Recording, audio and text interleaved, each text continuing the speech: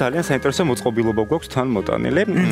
ეს არის რეფაქტომეტრი, ხედელობის სიმახვილის შესამოწებლად. ამაზე დღეს ჩვენ ოფთალმოლოგებთან ერთად ვისაუბრებთ. კაპტონი მარინა და კაპტონი ნანა. ერთი წუთით. ვინ არის დაინტერესებული? აიო კლინიკის დამფუძნებელი და ოფთალმოლოგი, როგორც აღნიშნეთ და ნანაც ერთვაზე ასევე ოფთალმოლოგი.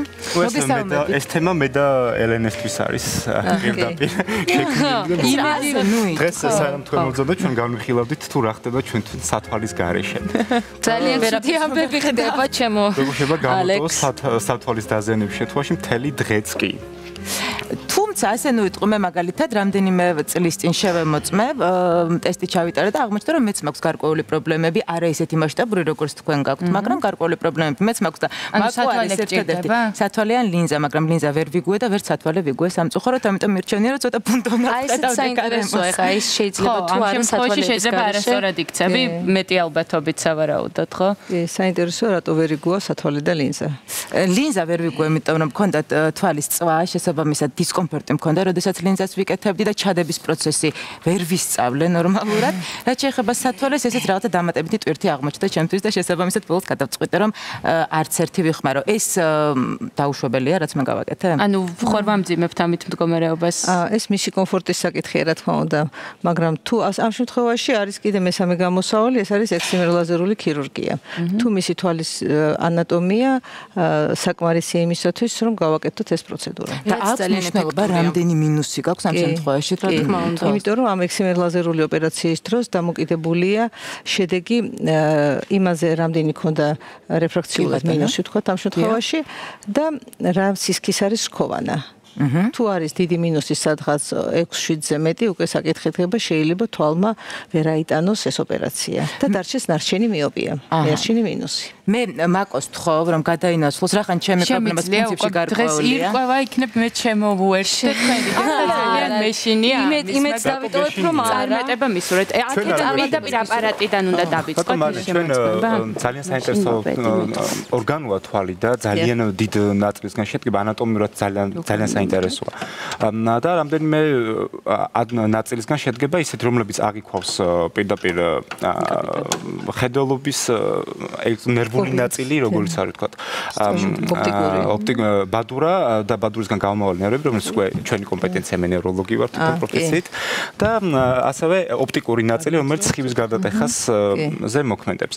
აი რომით შევეხოთ ამ წინა ნაწილს, წინა კამერას, ჩვენ კამერებად გვაქვს ხო თავდაყოფილი, როგორც არის ოპტიკური ნაწილი. ამ შემთხვევაში რასთან არის დაკავშირებული მხედველობის სიმახვილის პრობლემები? აი რა შეიძლება იყოს მისი მიზეზი? აა პაციენტს ყოველთვის ეუბნები მე მისის რო უფრო მარტივი და გასაგები გახდეს თვალის აგებულების შესახებ წარმოიდგინეთ თვალი როგორც ფოტოაპარატი, რომელსაც აქვს ობიექტივი და რომელშიც დევს ფირი. დიახ, თქვა. კარგი გამოსახულება გვექნება კარგი ობიექტივის და კარგი ფირის შემთხვევაში.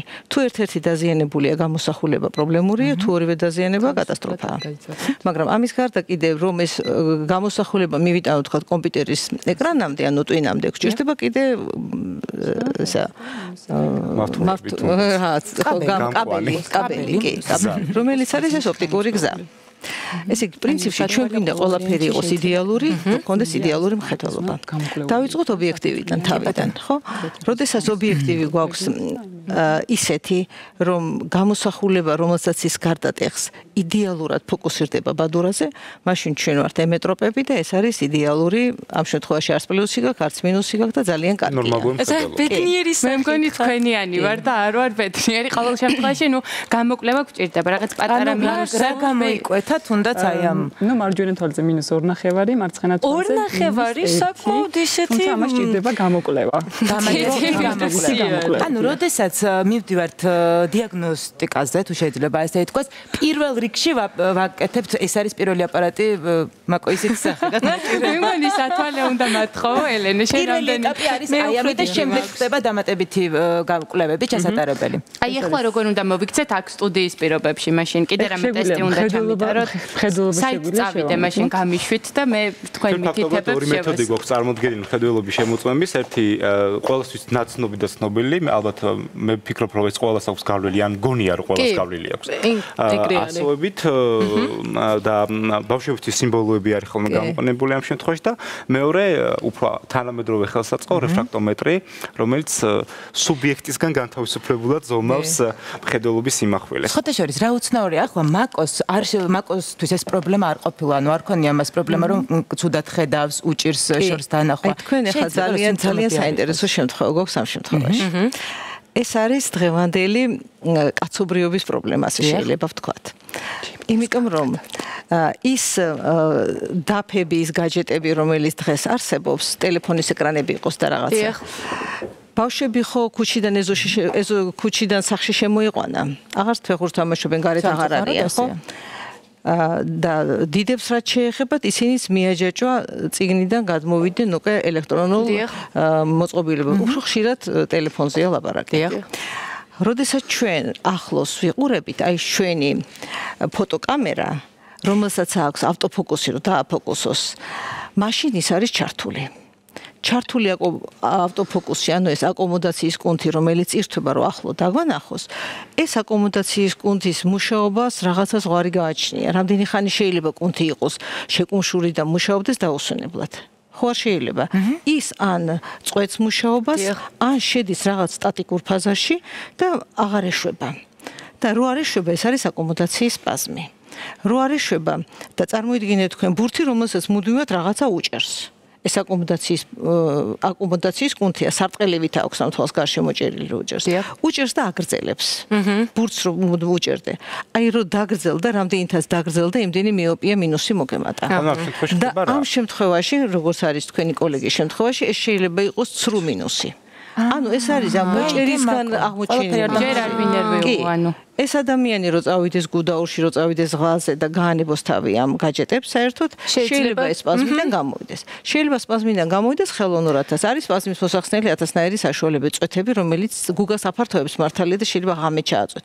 ყოველ შემთხვევაში მას ჭირდება ოფთალმოლოგი, რომელიც ნახავს რეალურად, აქვს თუ არა მინუსი, გაუმინუსდა თუ არა ნორმალური თვალი ამ სიტუაციიდან გამომდინარე და მე შემდეგ ის თავის ცხოვრების ჰიგიენას შეცვლის მხედველობის მხრივ.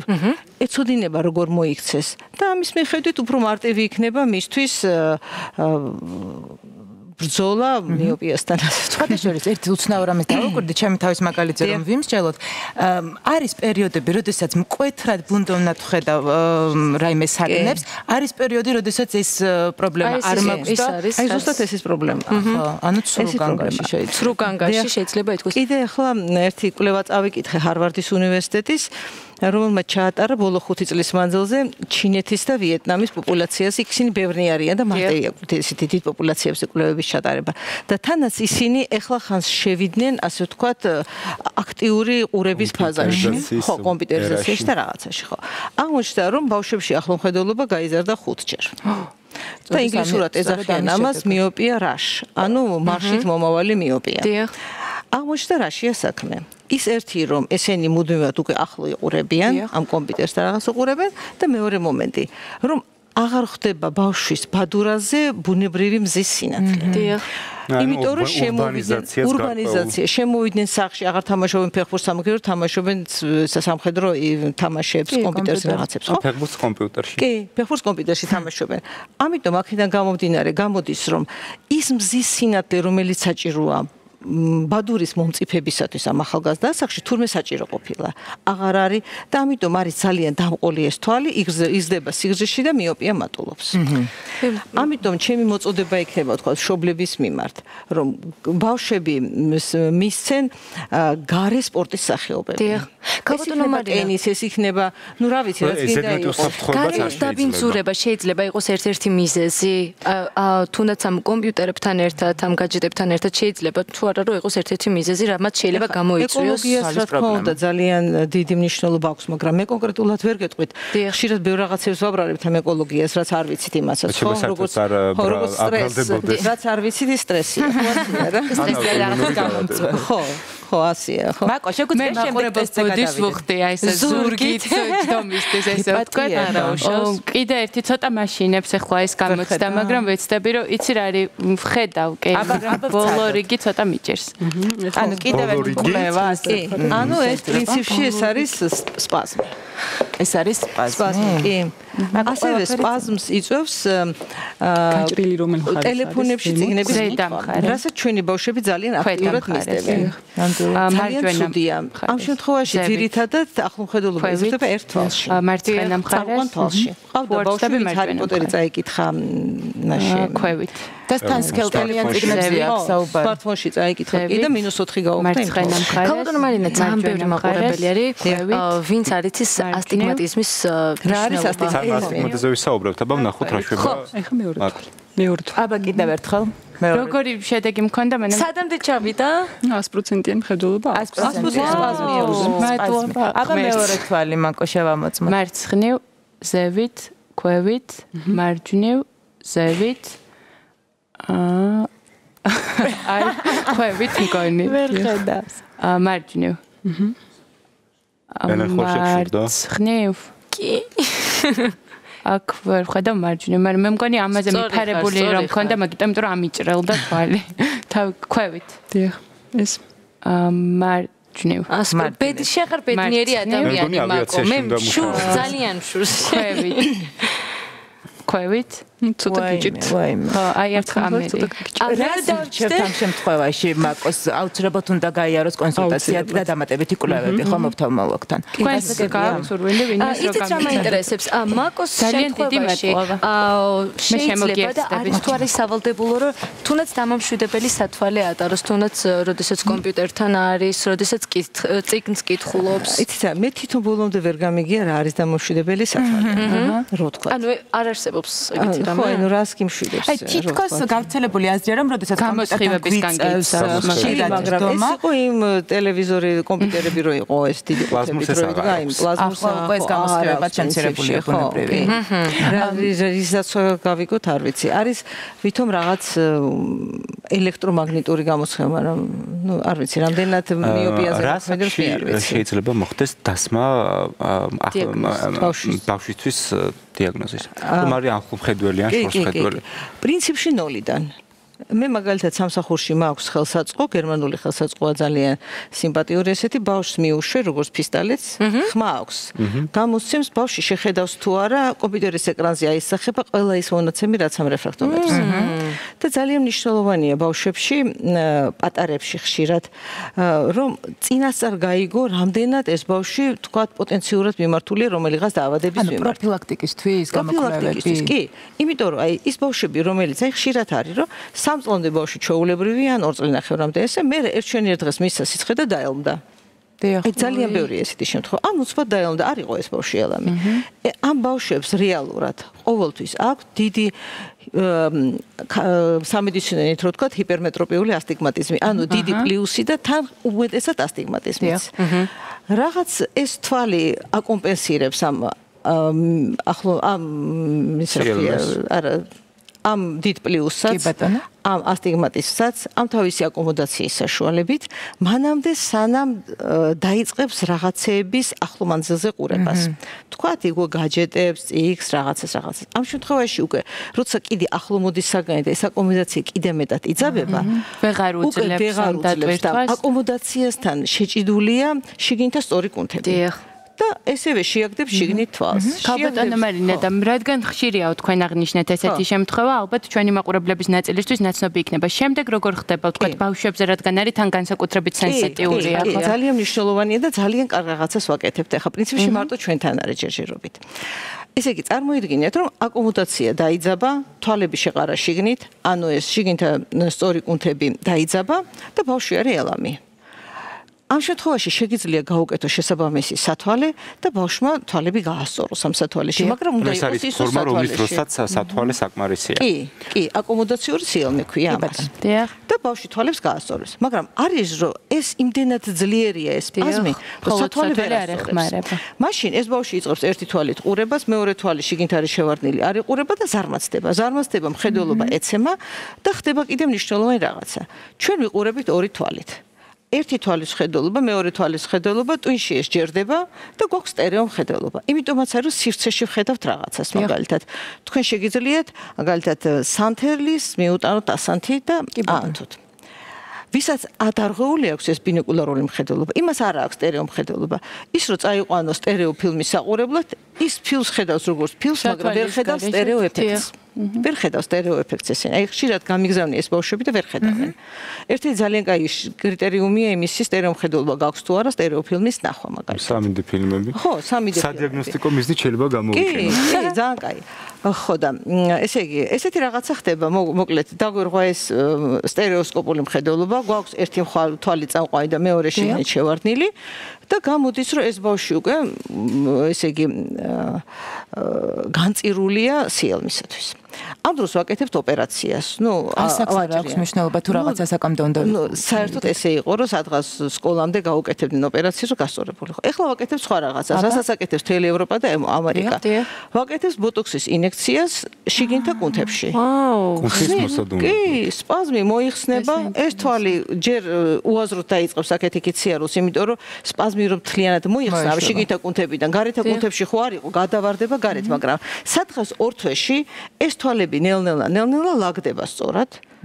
და ბავშვი იწყებს ორად ხედვას. და ეს მუდმივად არის. არა, არა, არა. ბავშვი იწყებს ორად ხედვას. აი, ორად ხედვას რო დაიწყო თუ არა, ესე იგი გამოვიდა რომ ორივე თვალი დადგა ერთ ხაზზე. აჰა. უკეთებ ამ სათვალეს და სვა უკვე სტერეოსკოპული მხედველობის გამახსენებელ ვარჯიშებზე. რო twins გაახსენო. აი, სწორ სათვალეში თუ თუ სწორი სათვალეა, თუ გაუკეთეს სტერეოსკოპული მხედველობა, იმას უკვე мотивация აღარ იქნება, შიგნით შეიტანოს თვალები. და ორივე თვალით იყურება. სანამ ოტოქსის მოქმედება გაივლის, ამ შემთხვევაში დროს ვიგებთ, ხო? ვაკეთებთ უკვე 1-4 წელია. ისეთი კარგი შედეგები გქონს ფანტასტიკური მაყოფილები წარმოიდგინეთ. არც ოპერაცია გაუკეთეს თან გაცილებით მარტივი პროცედურა ვიდრე ოპერაციის გაკეთება არ მოჭერი და არ დაამაგრეს სხვა ადგილას. ზოგჯერ არის რომ ჰიპერექტომია არ არის ეს მსგავსი რაღაც და გჭირდება სათვალის შერჩევა. რა საკიდან უნდა დავნიშნოთ ბავშვის სათვალე? ბავშვი ყავს რომელსაც სათვალე დაუნიშნე 8 თვისას მაგალითად. ვაი. და ეს ბავშვი იყო გაუგნებული, იმიტომ რომ დაინახა ყველა ყველაფერი. ხელს არ კიდევდა ამ სათვალეს ისე უკვე. და როგორ როგორ უნდა მივხვდეთ, რომ აი ბავშვი ვერ ხედავს, იმიტომ რომ აი მეც დედა ვარ 8 თვის ბავშვის, აი როგორ უნდა მივხვდეთ? 8 თვის ბავშვზე ვერ მივხვდებით. ეხლა თქვენ თუ ეხლა ძალიან სერიოზული პრობლემა არ აქვს ამ ბავშვს, მაგრამ ჯობია ეს ბავშვი ეხლა აი რამდენს ხედავს ვერ გავზომავ, იმიტომ რომ ის უნდა მითხრას, რომ მე აი ეს ხედავ და ამას ვერ ხედავ, ხო? ინფორმაცია რა.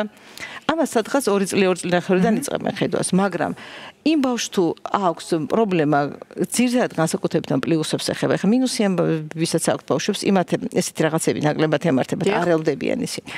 ხო, აი მაგალითად პრევენციისათვის პოტენციური სიელმის პრევენცია შეგიძლია ამ შემთხვევაში იდეალურად. იმიტომ რომ ნახავეს დიდი პლუსებია, გაუკეთებს სათვალეს, ის აღარც დაელოდება ის ბავშვი. არ მივალთ. არ მივალთ იქ ეტაპამდე რომ დაგჭირდეს სხვა ყველაზე კარგი ხო პრევენცია და პროფილაქტიკა. ხო, ასტიგმატიზმი დავსვით. ხო, კი ბატონო. სანამ გადავიდეთ ახლა ერთი ასაკობრივი კატეგორიიდან მეორეზე მოდით და უკვე ნუ რაღაც თქვათ 40 წელს პირობითად ავიღებთ როცა აღწევს ადამიანი რაღაც ცვლილებები მიდის ყველა ორგანოზე და შესაბამისად თვალზე ხო ბუნებრივია. ბროლი იცვლებაო ესე ამბობენ რა თქმა უნდა მე ამაში გარკვეული არ ვარ. ეს ნიშნავს თუ არა იმას რომ ამასაკის მიღწევის შემდეგ ყველამ განურჩევლად იმისა შეამჩნია საკუთარ თავს თუ არა რომ კარგად ხედავს ან ვეღარ ხედავს რაღაც დიაგნოსტიკა უნდა ჩაიტაროს და თქვათ გამოიყენოს სათვალე რიგ შემთხვევებში. კი ბატონო ანუ ეხა 40 წლამდე კი გვაქვს ის ასაკი, როდესაც არის ხარ 17, 18, 25 წლის, როდესაც ყველაზე აქტიური მომხმარებელი ხარ კომპიუტერის, თქვენ მაგალითად, ხო? ეს ის ხო მნიშვნელოვანი ასაკია. რა თქმა უნდა. აი მაგალითად თქვენ სპაზმი გაქვთ, თქვენ ვერიდან სათვალეს, თქვენ სათვალეთ იკეთეთ, ყველა კატეგორია ხო, არის ჩვენი საკრა. პრინციპში უნდა გაუკეთოთ ის სათვალე, თქვა ახალგაზრდაზე ვიძახი, რომელშიც ის კომფორტულია. შეიძლება მე თქვენ რაღაცა დაგინიშნოთ სათვალე, რომელიც ყველა მექანიზმებით სწორია, მაგრამ თქვენთვის ის არ იყოს კომფორტული. არასწორად შერჩეულმა სათვალემ შეიძლება რომ გააუარესოს ეს პრობლემა რაც. კი, ახლა კი, ჩემ შემთხვევაშიც ყოფილა, მე ჯერ ყოფილა ეგეთი მაგალითი. თან ეს ჩემი შეცდომა იყო მე ექიმთან არ წავედი, მე შევედი ოპტიკურ მაღაზიაში, სადაც იქ მე თვითონ არა, ოპტიკურ მაღაზიებში ხო არიან ხოლმე კონსულტანტები და ხო.